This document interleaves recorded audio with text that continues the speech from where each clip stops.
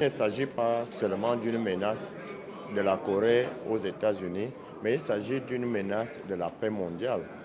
Parce que s'il y a une situation de guerre qui se déclenche maintenant entre la Corée et les États-Unis, ça risque de toucher tout le monde entier. Donc nous, nous, nous en Afrique, nous appelons à la paix, à l'apaisement, pour que, vous savez, l'Afrique est en quête de son chemin de développement. Ce n'est pas le moment de s'engouffrer encore dans un conflit international qui risque de retarder les efforts de développement en Afrique. Donc nous appelons à l'apaisement euh, des deux parties.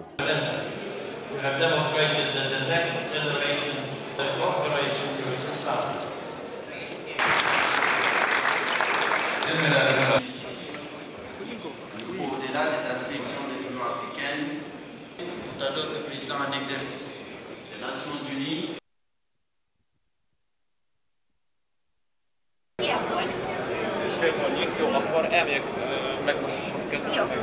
We look at North Korea as a uh, very serious global threat. Uh, we consider the leader of uh, North Korea as a, crazy communist dictator. And uh, we find it absolutely unacceptable that such kind of a dictator poses a global threat uh, on the whole international community.